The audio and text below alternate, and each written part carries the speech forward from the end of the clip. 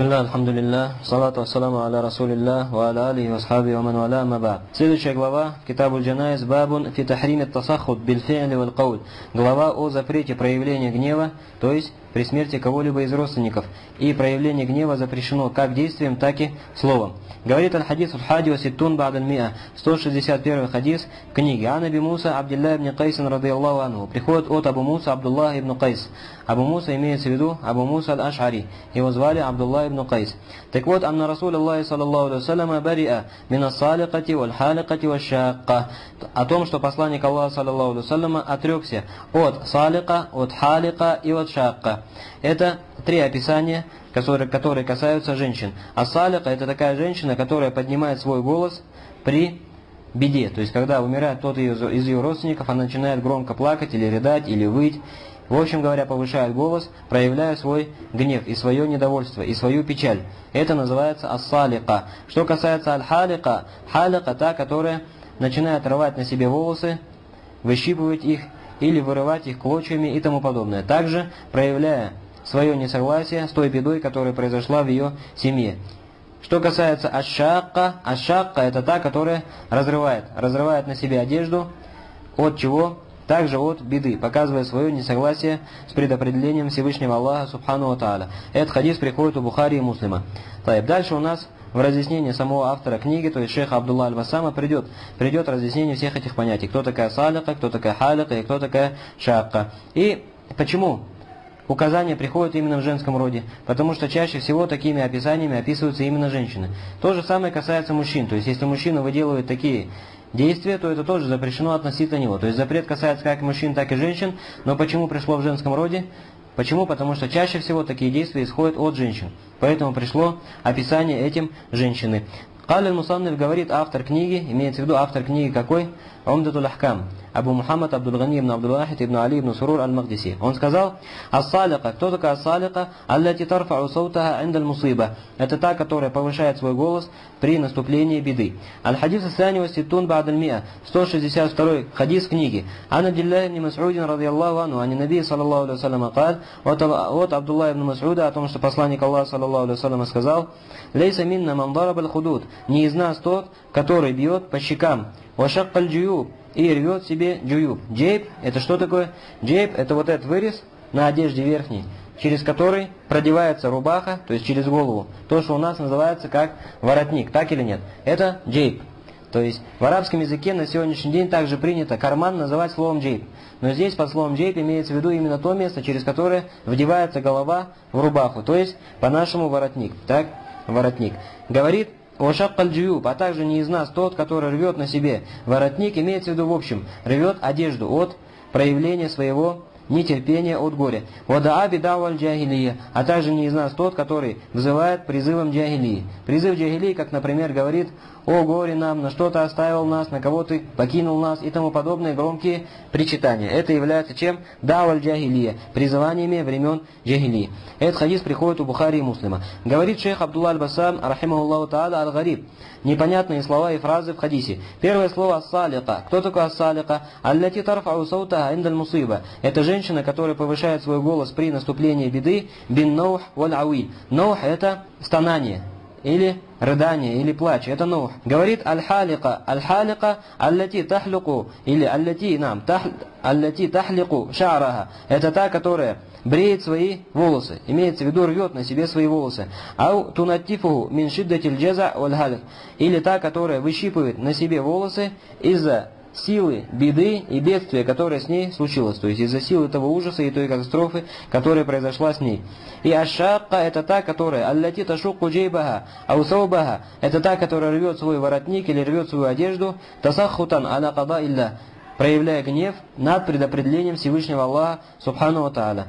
Говорит даваль джахилия. Что значит даваль джахилия? Вазалика биттафаджу аляль мейит ваннияха алей. Это когда женщина проявляет свой ужас и не может сдержать свой ужас над умершим, то есть показывает свой, свой ужас и растерянность над покойником. Он нияха алей и начинает причитать по нему. Как мы говорили, нияха это когда повышается голос либо причитаниями, либо перечислениями различных благих качеств мертвого, которые в нем есть и которые в нем не были. Ты был такой, ты был такой, ты нас обеспечивал, ты был храбр, ты был добр, ты был богат, ты был щедр и тому подобные вещи. Начиная что? Перечислять. На кого ты нас оставил? Все это называется нияха. Бианну укатель аннуфус.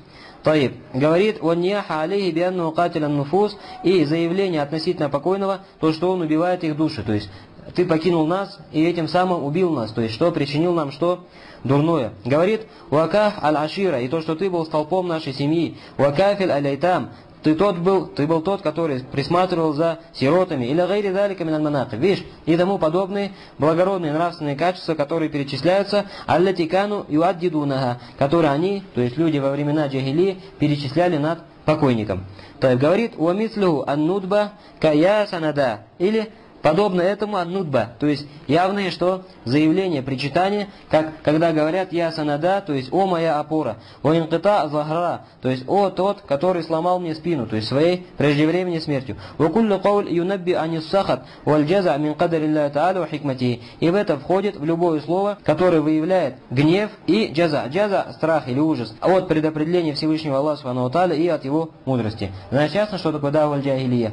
Это включает в себя, значит, получилось две вещи. Во-первых, причитание, о, такой-то на кого-то нас оставил, на кого-то нас покинул и подобное этому. И второе, перечисление благих нравственных качеств, которыми описывался, описывался человек. Без разницы, он описывался ими в действительности или они возвышают его выше того места, на котором находился этот человек. И то, и то является даваль джагилия, взываниями времен джагилии, это запрещено.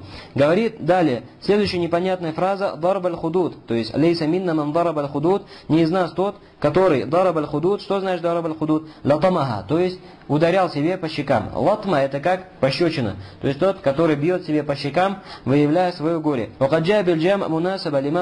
Говорит, и придет, говорит у нас, мунасаба, то есть совместимость. Почему пророк, саллаллаху алейhi объединил все эти вещи в одном хадисе? Говорит аль-джейб, что такое аль-джейб? Машук минаthоб литхад ар-рас. Это то отверстие в одежде, через которое вдевается голова в нее. Так, то есть, как мы сказали, воротник. Эти вопросы понятны же, так или нет? Ничего непонятного хадиса не осталось.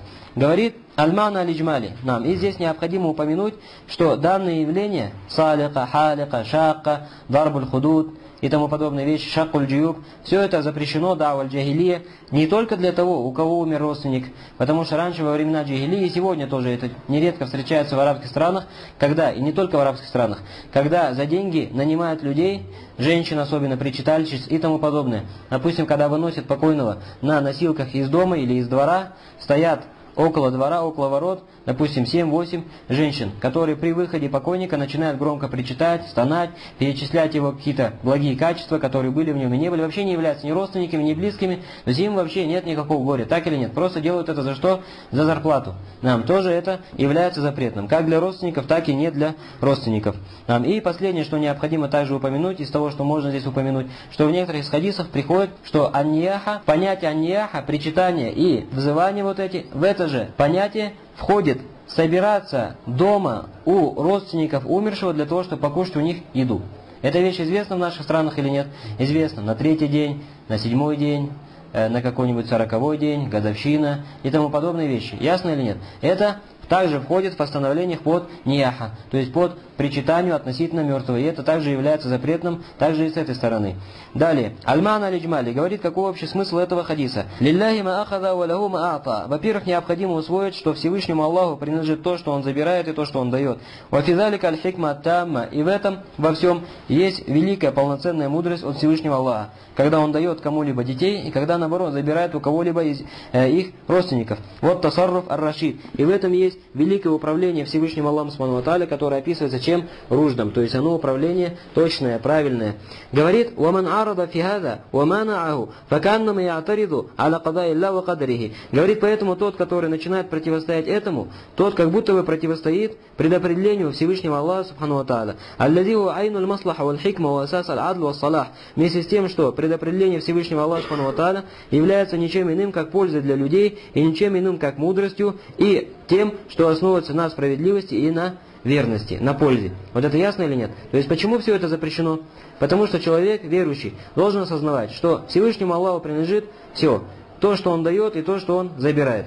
Также в том числе все мы, те, кто нас окружает, все мы принадлежим Аллаху, и к Нему мы когда-либо вернемся. И все мы являемся ничем иным, как имуществом Всевышнего Аллаха и Его рабами. Так? И как известно, хозяин может делать со своим рабом то, что ему угодно, так или нет. Может что-то дать ему, может забрать ему у него то, что он ему когда-то дал. То же самое и в более великом, великом проявлении, и Всевышнему Аллаху принадлежит наилучший что? Атрибут. Он, Всевышний Аллах, тем более забирает у нас, что захочет, и дает нам, что захочет. Поэтому человек верующий должен быть в этом убежден и должен относиться к этому настолько, насколько можно, спокойно и с пониманием. Понимая, что во всем этом мудрость Всевышнего Аллаха и его знание, и все это построено на справедливости Всевышнего Аллаха Субхану и на доброте от него.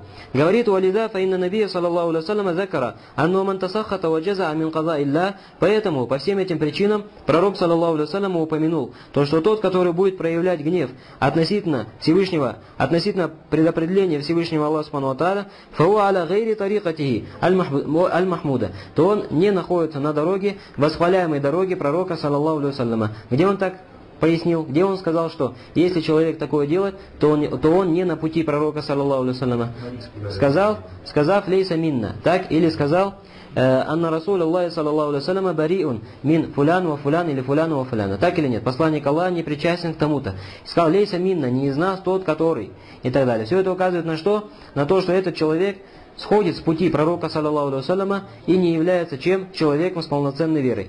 Говорит о суннати аль-маншуда, и он также не на его заветной сунне. Маншуд это как бы заветный, желанный. Так, то та дорога, на которую люди желают встать и идти по ней. Говорит, «Из кад инхарафат би тарих иля нахия, аллазина ида массахум ашар, джазау ва Потому что, говорит, эти люди, которых если касается какое-то зло, то они начинают что делать? Ужасаться и приходить в ужас, и начинают причитать и галяу, то есть проявлять свой гнев нам. Говорит, Такие люди, дорога отклонилась вместе с ними на неправильную сторону или на неправильное направление. Лянну муталлакуна биадиль дуня, потому что они связывают свои сердца слишком сильно с этой ближней жизнью. Фаля ярджуна бисабрихим аля мусыбатихим, саваб Аллаху ридуанихи, и не надеются на награду Всевышнего Аллаха и на его довольство, если бы они проявили терпение над своим горем. Так или нет? То есть верующий человек должен пользоваться подобными несчастьями, которые отправляет ему Всевышний Аллах Субхану То есть это не что, как, не что иное, как испытание от Всевышнего и возможность заработать великую награду перед Всевышним Аллахом в судный день. Так или нет? Нам. Говорит Фахуа бариун мимман да'уфа иманухум. Пророк, саллаллаху алейhi сообщил в этом хадисе, что он не причастен к этим людям по причине слабости их веры. Валяу ятахаммалю вака аль-мусиба, хатта ахраджухум залик иля тасахут аль-каули бин нияху ан-надаб ау аль-фи'ли, валям ятахаммалю. И они, почему также они, пророк, саллаллаху алейhi не причастен к ним, валям ятахаммалю вака аль-мусиба, потому что они не перенесли того ужаса, того горя, которое постигло их. Хатта ахраджухум залик иля тасахут. Так что это горе и эта беда, и эта катастрофа, и этот ужас вывело все это их к чему? К тасаххуд. Тасаххуд – проявлению гнева. Аль-каули к словесному тасахуту, то есть проявлению гнева словом, бинниаха, как, например, причитанием, он надб, надб это перечисление чего? Благих, благородных качеств человека. А ульфиали, или же тасахут, то есть проявление гнева действиями.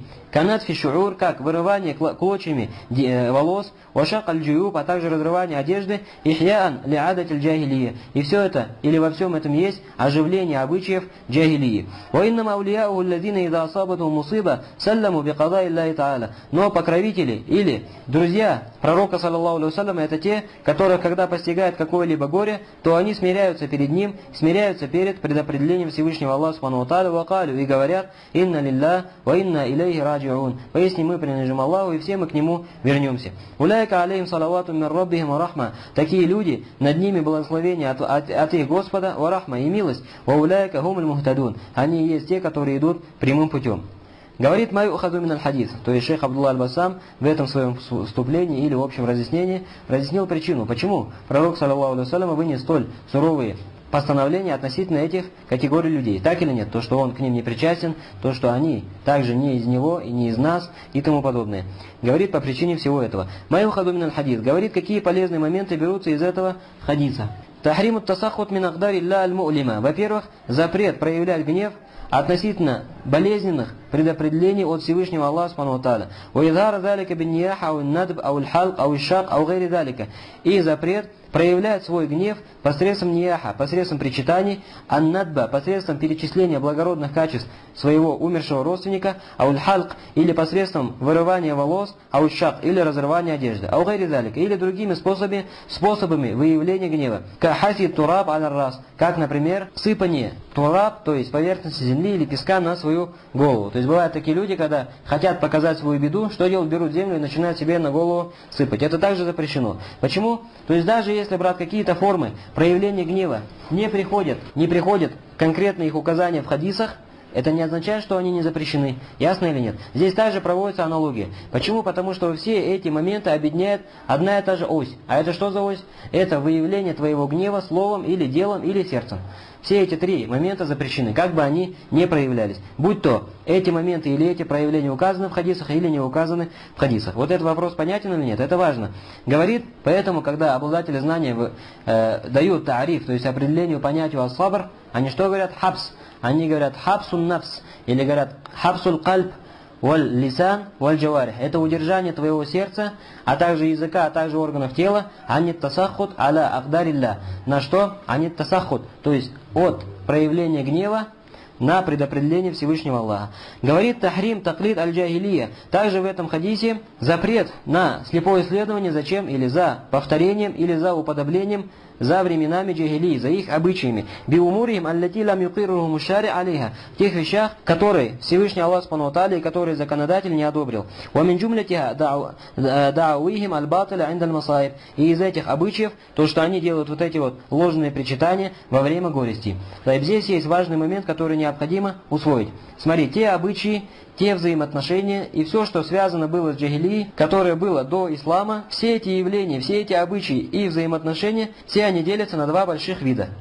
Первый вид, относительно которого пришло одобрение от шариата, что этот вид является каким правильным и законным. Допустим, э, во времена джагилии было несколько форм никаха. Одна из этих форм, та форма, которая на сегодняшний день узаконена в шариате. Другие формы не узаконены. Так, так вот, первая часть того, что или на что делится вся джагилия, все ее явления и взаимоотношения обычаи, это то, относительно чего пришел контекст, либо в Коране, либо в Сунне, одобрением этого, то есть одобрение этого обычая. И второе, то относительно чего такого контекста не пришло. Отсюда что ты понимаешь? Если такое одобрение пришло, значит данное явление, деяние и взаимоотношение является каким? Узаконенным. Если одобрение от шариата не пришло, значит данное явление или взаимоотношение или обычай является неузаконенным, запретным. И это основа относительно взаимоотношений и обычаев джагили.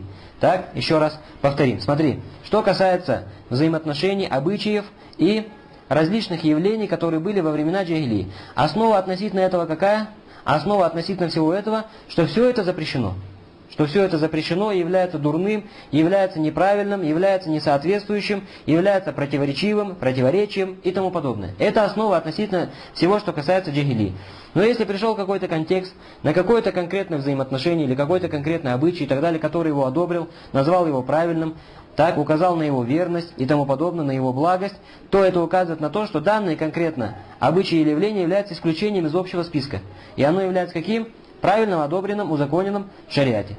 Так, это мы, иншаллах, поняли. Далее, это первый момент. Запомнили или нет? Теперь второй момент, можно который у себя отметить, то, что одно лишь, то есть голое указание в хадисе на то, что данное дело является из дел джагилии, уже указывает на то, что данное дело является запретным.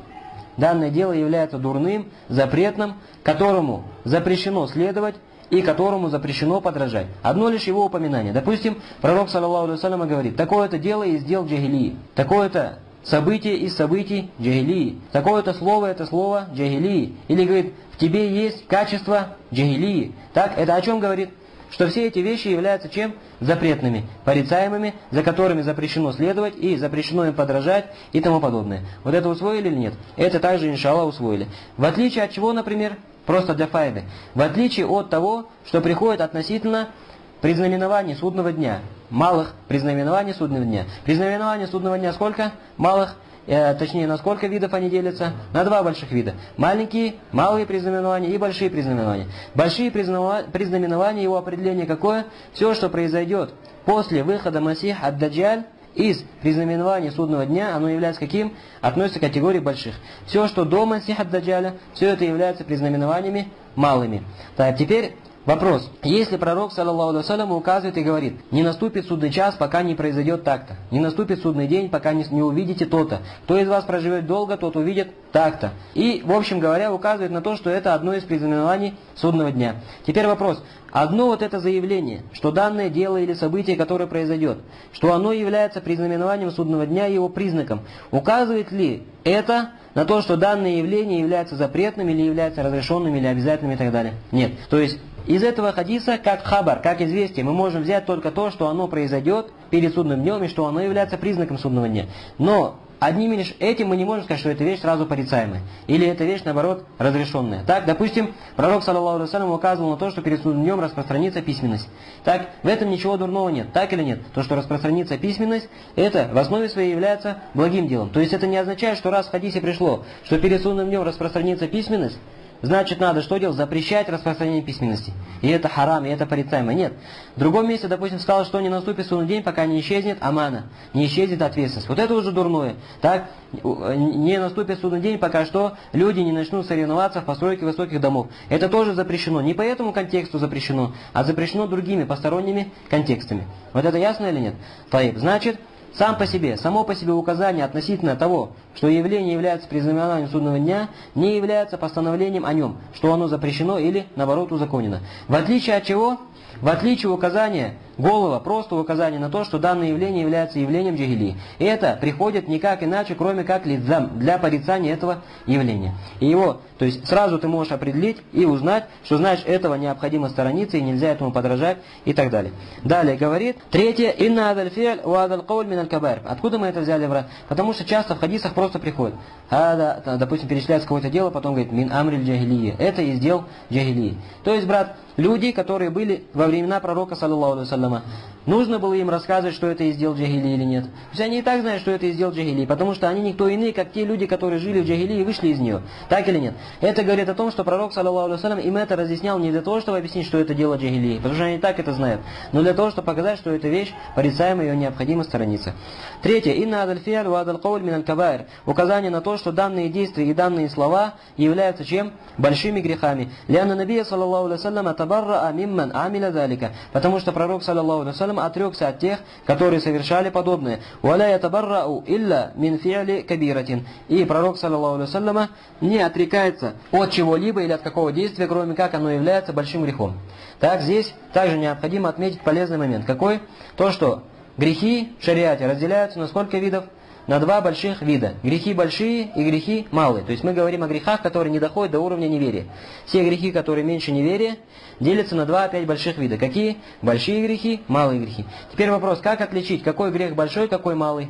Почему это важно? Потому что если перед нами большой грех, то за его совершение человек должен сделать отдельную толбу. То есть совершение им пятикратных намазов, ураза, дауразы, э, совершение еще каких-либо э, джума, джума и так далее. Все это, что не прощает больших грехов. Для больших грехов непременно сделать что? Отдельное покаяние за эти грехи. Для того, чтобы теперь, знаешь, э, или теперь, знаешь, мы поняли, что, знаешь, надо уметь разделить и уметь выявить, определить, какой грех малый, а какой большой. Так вот, относительно этого у ученых есть разногласия. Какой грех малый, а какой большой. И наиболее правильным и наиболее явным бабитом, то есть наиболее явной граничной или пограничной чертой между малыми и большими является что? Если в хадисе приходит какая-то угроза относительно того, кто совершает это деяние, то есть угроза какая-то серьезная, угроза огнем, угроза наказанием, какой-то не из нас, пророк сам от него отвернулся, от него отказался, Всевышний Аллах с таким-то не заговорит судный день, не очистит его, Аллах такого проклял, кто так сделает, тот под проклятием. Вот эти вот угрозы если перечисляются в хадисе вместе с этим грехом, это говорит о том, что этот грех является большим, а не просто малым. Понятно или нет? Допустим, здесь пророк, саллаллаху алейhi сказал, лейса минна, не из нас тот, который так делает. Если бы это был малый грех, от которого не защищены большинство людей, даже, более того, известно то, что пророки, было возможно относительно них совершение малых грехов. То есть пророк, саллаллаху алейhi не отрекался бы от человека за совершение малого греха. Отсюда берется, значит, данные грехи, которые перечислены в этом хадисе, как словесные, так и действенные, являются какими грехами? Являются грехами грехами большими. Так, говорит далее. Четвертое. Ла баса мин аль-хузн валь-бука. Необходимо указать на то, что нет ничего страшного, если человек будет опечален и если он будет плакать. То есть это не является запретным при потере родственника. Потому что это не противоречит терпению относительно предопределения Аллаха. Но это лишь милость, которую Всевышний Аллах Субхану поместил в сердца людей относительно своих родственников и относительно своих любимых людей. И также пророк пророк, саллаллаху алейhi хазина, то есть что делал? Печалился. И зарафат айнаху, то есть его глаза слезились, когда, допустим, умер его сын Ибрагим. Он сказал, ля накуль илля ма юрды арраб. То есть то, что мои глаза слезятся и я печален, это всего лишь милость, которая заложена в мое сердце. Но вместе с этим, ля накуль илля ма юрды аррабба. Я не произношу или мы не произносим ничего, кроме того, чем доволен Господь. Ясно или нет? То есть печалься, плачь, если хочешь, но в твоих словах и в твоих действиях не должно быть больше этого. Словами ты не должен проявлять гнев, и делами ты не должен проявлять гнев. Говорит Уабалду вместо Бука. И некоторые ученые даже посчитали желательным плач. То есть, почему сказали? Возможно, потому что, если человек не плачет при смерти своих родственников, это говорит о слабости милости, которая есть в его сердце. То есть, о недостаточной милости. Валил уляма валь арифин фиадаль баб ара ядхабуна фия хазба матухи илейхим назаатухум аддиния. Говорит и ученых, Аль-Ариф, Ариф это вообще, то есть тот, который познал Всевышнего Аллаха Субхану Это термин также используется у кого? У суфиев. Но приверженцы сунны также часто используют этот термин. Ариф, то есть познавший Аллаха, тот, который обладает знаниями об атрибутах Всевышнего Аллаха и его именах. Так вот, говорит, обладатели знания, а также арифун, что делают? У них есть различные мнения в этих вопросах. То есть можно ли плакать, или это является желательным, или чем это является, и тому подобное. В зависимости от того, говорит, назаату муддини, какие у них есть религиозные примеси в сердце. Назаат, наза, это как примесь, или какое-то явление, или какое-то свойство, так, которое есть в сердцах людей. То есть, как известно, разные люди воспитываются по-разному. Кто-то воспитывается на одном, кто-то воспитывается на другом. Соответственно, у разных людей бывают различные склонности, наклонности, возможно, какие-то воззрения свои и тому подобное. Главное, чтобы эти воззрения не противоречили Корану и Сунне. Фаидатан. Теперь, говорит, две пользы или два полезных момента с этого хадиса. Аль-Уля, первый момент, аль-иману билляй та'аля, ва хусну раджа аль-аб, баррихи ва масубатихи. Говорит в этом хадисе вера во Всевышнего Аллаха Субхану а также то, что человек должен надеяться на награду от Всевышнего Аллаха и на его благодеяние. Зиллун залиль, яу илей куллю ман лафахатху самайм аль-хая аль-мухрика. Говорит, так вот, все это, то есть вера во Всевышнего Аллаха, а также надежда на его награду и на его благодеяние, являются зиллун залиль. Что значит зиллун залиль? Как бы распростертой, протянутой тенью, под которой скрывается и находит себе убежище любой, кого покрыло своими языками или своим горем или ядом самаем аль-хая аль-мухрика. Различные ядовитые явления, которые встречаются в жизни людей. Мухрик – то, что сжигает. Самаем то есть от слова сум, что-то ядовитое. Лавха это то, что задевает тебя, то есть как огонь, как языки огня, когда задевают человека, что-то подобное этому. Говорит, фаинну ежду фи арраха валь унс валь ам, потому что человек, когда постигает его что-либо из этого, из предопределения Всевышнего Аллаха, из потери родственников или подобного, если он верит во Всевышнего Аллаха должным образом и надеется на его награду и на его благодеяние, то это становится для него чем? Раха. То есть он успокаивается, валь унс. Унс это тоже спокойствие. То есть он как бы что делает? Находит себе прибежище. Говорит валь ам и безопасность. Лима ярджуху мин савабилля та'аля ва джазиль атаихи или сабирин. Потому что этим самым человек проявляет свою надежду на награду Всевышнего Аллаха Субхану Тааля и на его дары кому? Терпеливым. Говорит. Говорит, поэтому жизнь для этого человека становится дешевле, и дела становятся легче. То есть он перестает столь много внимания обращать на эти вещи и относится ко всему этому спокойнее, так или нет. Так близко к сердцу не воспринимает. Лизакиль, поэтому говорится, «Ман араф Аллах ганат алей мусибату». Тот, кто познал Всевышнего Аллаха, стало облегчено ему его горе, становится легче для него его горе. Он Набию, саллаллаху алейhi каль, и пророк, саллаллаху алейhi сказал, «Аджибан лиль му'мин» – удивительно положение верующего. «Инна амраху кулляху аджаб» – любое его дело, что бы с ним ни произошло, все это является удивительным. «И насабату сарра фашакара» – если произошло с ним что-то радостное, то он проявляет терпение. «Кана хайран ля» – и это становится благом для него. «Вай насабату дарра фасабара» – «Кана хайран ля» – если его постигает что-то из дурного, то то он проявляет терпение, и это также становится добром для него. «Валейса залика илля лиль мумин». И такого положения не относится никому, кроме как к верующему. То есть неверующий человек не приобретет этого. Верующий человек, его положение удивительно. Что бы с ним ни произошло, в итоге это становится для него благом. Произошло что-то доброе, проявляет терпение, не ликует, не высокомерит, не проявляет самовлюбленность и тому подобные качества, но проявляет благодарность Всевышнему Аллаху. И знает, что это все от Него, как милость от Него. И если бы не Он, не произошло бы с тобой этого добра. И это становится чем? Благом для него. Соответственно, если случается что-то, наоборот, дурное, то проявляет терпение и э, становится также благом для него. Говорит, «Валямма факадан насу азаззиль аль И когда люди потеряли эту распростертую, тянущуюся тень, миналь иман бироббихим, из веры в их Господа, варраджали хусни джазаихи, говорит, а также из награды, э, в благость его награды, а нам из награды, из надежды, в благость его награды, валь амаль фи карим масубатихи, а также в надежду на его щедроту, Сырна фиада заман нара валь билля касрат хавадис аль Мы, говорит, из-за этого видим в наши времена, валь билля, большое количество интихар, то есть событий самоубийства.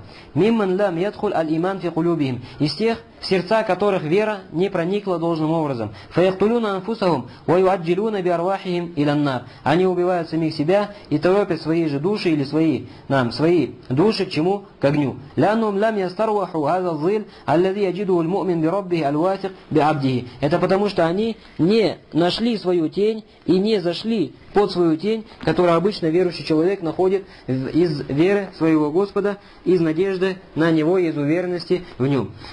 Бан'инда атфа алазбаб. Яиддуна амарахум. Наоборот, говорит, эти люди, энда атфа алазбаб. Иногда из-за самых ничтожных причин что делают? Наносят вред своим жизням. То есть утеряют свои жизни или наносят себе самоубийство и тому подобное. По какой причине, говорит, атфа алазбаб. Самые ничтожные, ничтожная проблема происходит, маленькая ерунда какая-то происходит, идет и покушается на свою собственную жизнь, заканчивая чем самоубийством. Уаля ядруна аннухум битааджулихим аль-музри янтакилуна иля азаб ашад мимма фи. И говорит, и эти люди не понимают, что этим своим ничтожной дурной торопливостью янтакилуна иля азаб. Они перемещаются к чему? К мучениям, которые хуже, чем те мучения, которые, в которых они находятся сейчас. Уаннахум кальмустанджит минар рамва биннар. Они подобны тем, которые ищут спасение от рамба, то есть от чего? От золы или от пепла к огню. То есть хочет спастись от пепла и бежит куда? В огонь. Так или нет? То есть человек зачем заканчивает жизнь самоубийством? Потому что не может больше терпеть те сложности, которые происходят всем с ним в жизни. Так вот, пусть знает то, что то, что ожидает его в дальнейшем, если он покончит жизнь, жизнь самоубийством, хуже, чем то, в чем он находится сейчас. Так или нет? Получается, что он бежит от пепла или от золы и ищет спасения в самом костре. Говорит далее, «Фалейса ладейхим кальбуль му'мин аррады». У таких людей или эти люди не обладают сердцем верующего человека, аррады, который был бы доволен предопределением Всевышнего Аллаха. «Аллади тагуну инду валь Аллах мин аль карим». А кто такой верующий человек, удовлетворившийся, довольный человек? Это тот, горести которого кажутся ему ничтожными, так кажутся ему несерьезными по сравнению с тем, что ждет его из щедрой награды Всевышнего Аллаха Субхану Тааля. Асания и второй полезный момент, мазаба ахли сунна валь джама, мазаба ахли сунна валь джама, анна муслима я ла яхруджу мин дайратил ислам бимуджаррат фи'алил мааси ва инкабурат. То, что мусульманин не выходит за круг ислама, совершая лишь большие грехи. Да, какими бы великими они не были, так, то есть имеется в виду, пока они не дойдут до уровня чего? Неверия.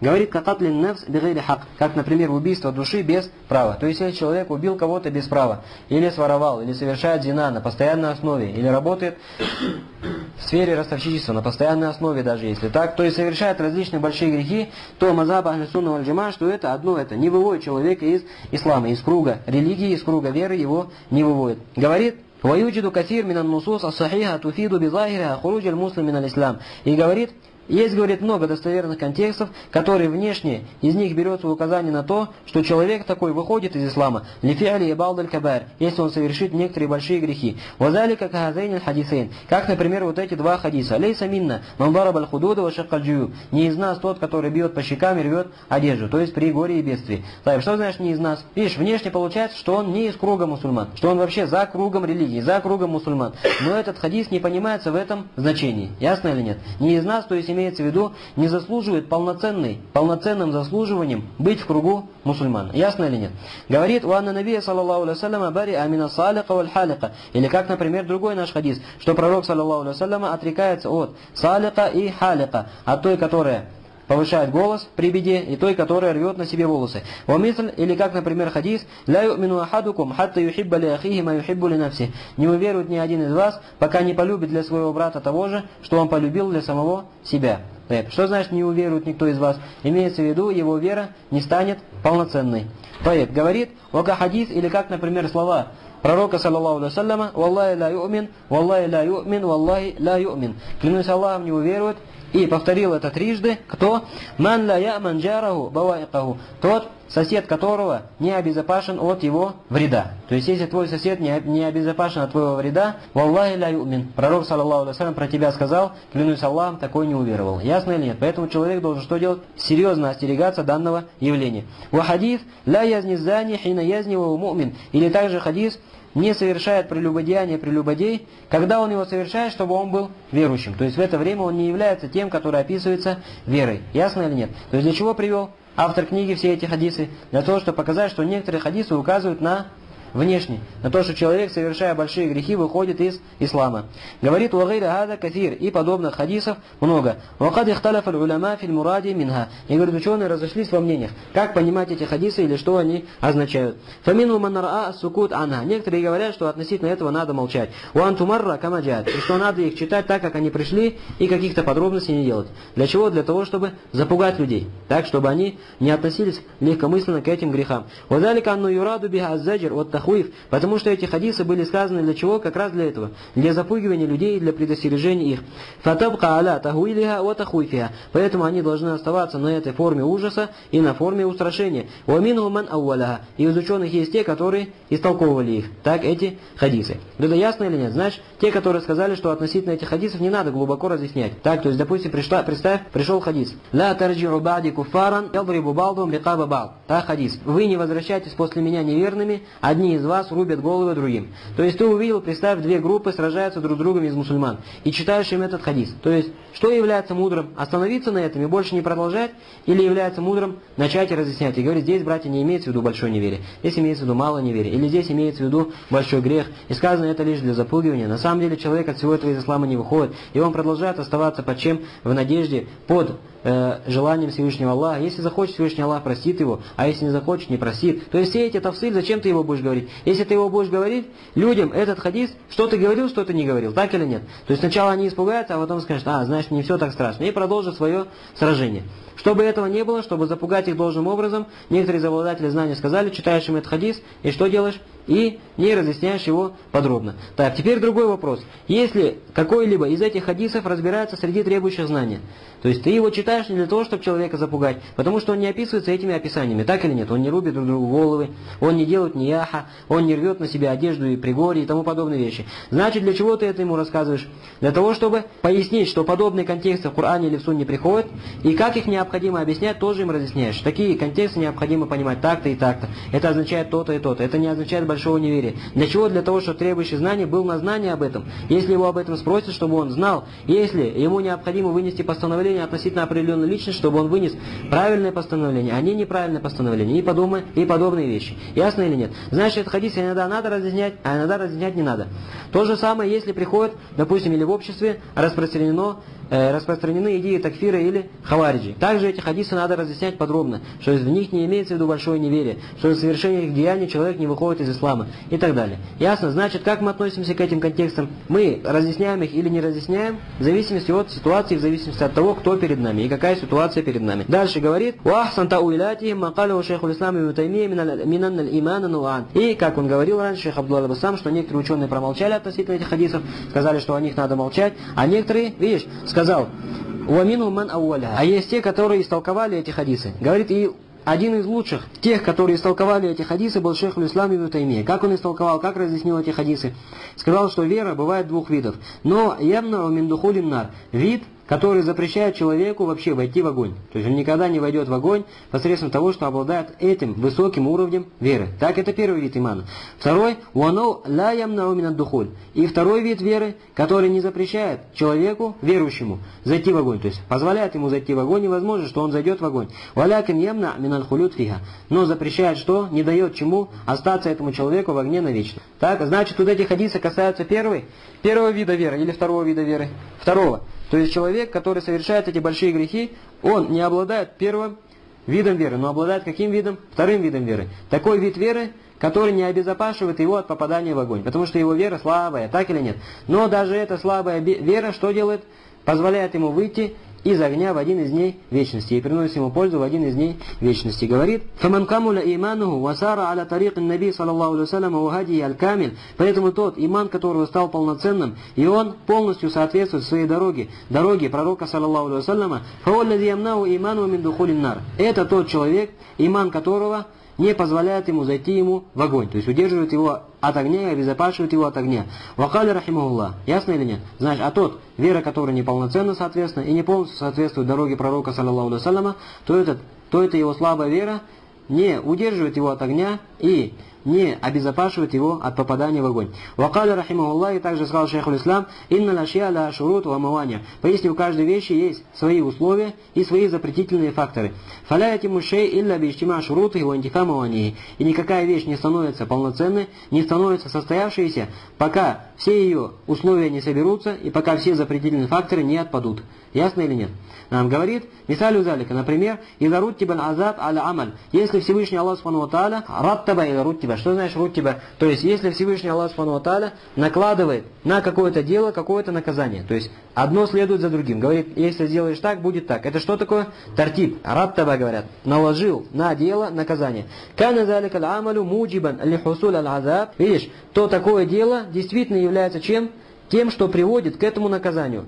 Малям юджит маня явного мин хусули. Кроме как, если нет какого-то запретительного фактора, который запрещает данный азаб, данное наказание Всевышнего Аллаха на человека снизойти. То есть, допустим, человек или Всевышний Аллах Субхану говорит, а тот, который убьет верующего намеренно, то есть имеется в виду злостно, так то его наказанием является вечный ад, он будет вечно. Это что такое? Это наказание, которое заслуживает человек за убийство верующего. Какое наказание? Преднамеренное, злостное убийство верующего, его наказание – вечный огонь. Но есть мания, есть запретительный фактор, который не дает этому верующему остаться в огне навечно. А что это за мания? Что это за э, запретительный фактор? Это его вера, или это его произнесение свидетельства «Ля Иляха Илlallah» и тому подобное. Понятно или нет? Вот это его спасает в один из дней вечности. А вообще, за такое деяние Всевышний Аллах Субхану назначает наказание вечным огнем.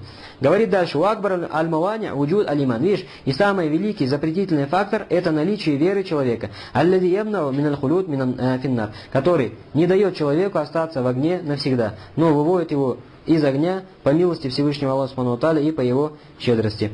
Таиб, субханак Аллаху мабихамдик, ашаду ла илляха илля анта, астахфируллаху ва атубу илейх.